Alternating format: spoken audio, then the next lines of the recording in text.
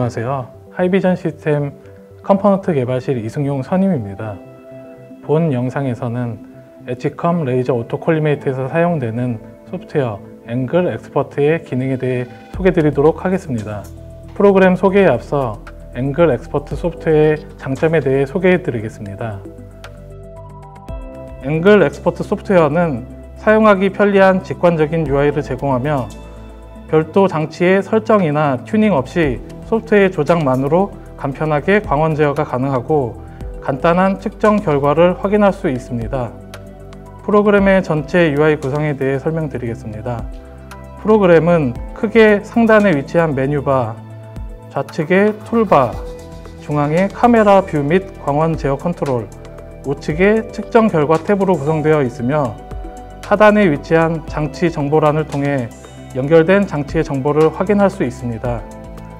Angle Expert 프로그램은 CMOS 센서로 인입되는 spot의 분석을 통해 tilt 각도 검출 및 측정이 이루어지게 되므로 주로 중앙의 카메라 view와 광원 제어 기능, 측정 결과 탭을 통하여 측정 결과를 확인 및 제어하게 됩니다. 프로그램의 사용에 앞서 프로그램의 구성에 따른 각 파트의 상세 기능에 대해 설명드리도록 하겠습니다. 첫째로 프로그램의 상단에 위치한 메뉴에 대해 설명드리겠습니다. 메뉴는 파일, 세팅, view, help로 구성되어 있습니다. 파일 메뉴부터 순서대로 설명드리겠습니다. 파일 메뉴에는 프로그램 자체 포맷으로 저장된 tracking 데이터를 불러올 수 있는 오픈 메뉴, tracking 데이터를 저장할 수 있는 save 메뉴가 있으며 export 메뉴를 통해 tracking 데이터를 CSV 형태로 저장하여 엑셀 등에서 측정 데이터를 활용할 수 있습니다. certificate 메뉴를 선택하시면 tracking 데이터를 레포트 형식으로 표시하여 프린트하거나 PDF 형식으로 저장할 수 있습니다. 세팅 메뉴에는 스팟의 검출 방식, 번호 부여 방식, 영상의 이미지 표시 방식, 표시 단위를 설정할 수 있습니다. 스팟의 검출 방식에는 형상의 중심, 밝기의 중심, 밝기의 피크점 등으로 설정할 수 있으며 검출 방식을 측정하고자 하는 대상물의 평탄도, 재질 등 여러 요소에 따라 가장 적합한 방식을 선택하여 사용하시면 됩니다. spot의 번호 부여 방식은 센서 중심으로부터의 tilt 각도 및 spot의 크기, spot의 평균 밝기에 따라 번호를 부여할 수 있습니다. 번호 부여 방식은 추후 tracking 또는 측정 데이터 확인 시 편리한 방법을 선택을 하시면 됩니다. view mode는 카메라 영상을 프로그램 화면 크기에 맞춰 축소하여 표시하거나 센서 원본 이미지의 중심을 기준으로 zoom in하여 표시하는 설정이 있습니다.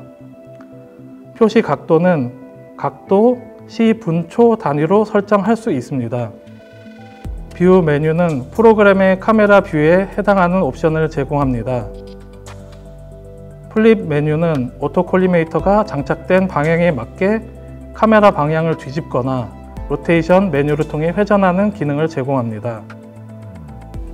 font size 메뉴는 카메라 view 내에 overlay하는 각종 글자들의 크기를 조절하는 기능을 제공합니다. full screen 메뉴는 카메라 view를 원거리에서 사용 시 측정 영상이 잘 보이도록 전체 화면으로 표시합니다. 다음으로 프로그램 좌측에 위치한 toolbar 메뉴에 대한 설명을 진행하겠습니다.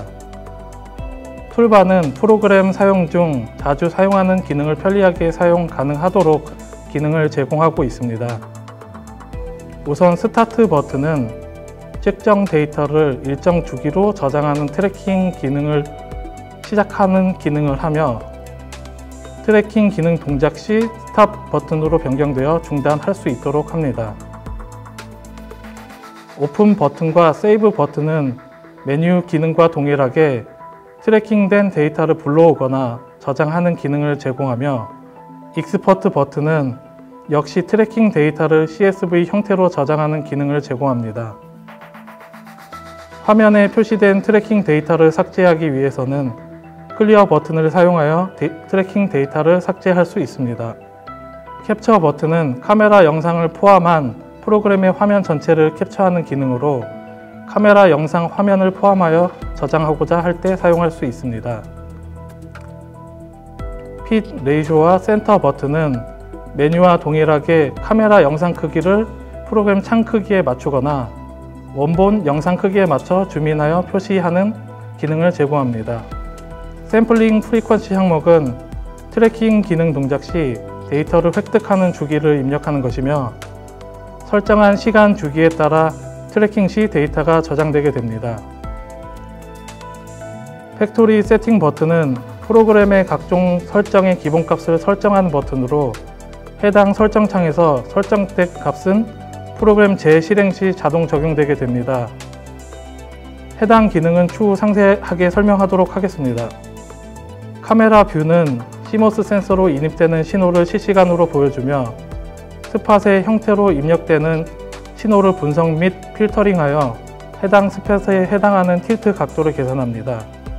카메라 view에는 spot 검출을 위한 옵션 설정 값이 표시하게 되는데 상단부에는 검출 방식, flip, rotation 설정을 표시하여 주며 중앙부에는 사용자가 지정한 유효 측정 범위에 해당하는 반경 표시가 이루어집니다. 하단부에는 검출 결과 primary spot의 각도 표시 그리고 offset 값을 표시합니다. 유효 측정 범위 내 정상 검출 시 검출 결과는 OK로 표기되며 측정 범위 밖이거나 노출 등으로 측정 결과가 유효하지 않은 경우 NG로 표시됩니다. 표시 항목은 마우스 우클릭을 통한 팝업 메뉴에서 표시 옵션의 종류를 체크 및 해제하여 변경할 수 있습니다. 측정된 spot이 과노출되거나 주변 간섭광으로 인하여 계측이 어려운 경우 내장된 레이저 모듈의 출력 광의 세기를 조절하거나 CMOS 센서의 노출 시간을 조절할 수 있습니다. trackbar를 드래그하거나 클릭하여 조절하거나 또는 키보드를 통해 미세 조절이 가능합니다. 다음은 측정 결과 탭에 대해 설명드리겠습니다. 측정 결과 탭은 실시간으로 측정되는 검출 spot의 tilt 각도를 표시하거나 tracking 기능을 통해 기록된 데이터를 표시합니다. 라이브 탭의 경우 실시간으로 측정되는 spot의 개별 tilt 및 각 spot 사이의 상대적인 tilt 각도를 표시하며 trace 탭의 경우 tracking된 데이터를 주기마다 저장된 spot의 센서상의 좌표 및 각도를 표시합니다. 연결 상태 탭은 프로그램과 연결된 장치의 포트 정보와 랜 정보, IP 등을 표시합니다. 이 정보를 통해 프로그램과 연결된 장치의 통신 상태 확인이 가능합니다. 프로그램의 광학 설정 및 검출 설정 변경을 위해서는 factory setting 메뉴를 사용하여 설정할 수 있습니다. 좌측에 toolbar의 factory setting 버튼을 눌러 설정을 진행할 수 있으며 설정된 값은 프로그램 재실행 시에도 기본값으로 적용됩니다. 설정 창에는 광학 설정 값, 스팟 검출 방식, 검출 임계 값 설정 및 외부 광원 모드, flip, 로테이션 설정, 오프셋 설정 등이 있으며 장치에서 광학 설정 가져오기 및 기록하기 기능이 있습니다. 외부 광원 모드의 경우 장치 내 레이저 광원이 아닌 외부 광원에 의해 입사되는 광원을 측정하는 모드로 내부 광원이 비활성화되어 오프됩니다.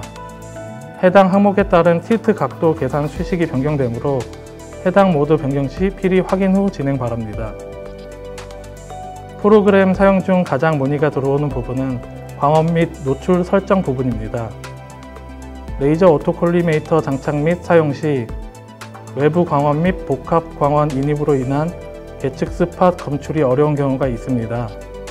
해당 문제 시에는 측정 대상이 아닌 외부 광원이 입사하지 않도록 거치하여 사용해 주시길 바라며 해결이 어려운 경우 셔터 스피드, 레이저 파워, 임계값 설정 등을 통해 해당 문제를 최소화할 수 있습니다.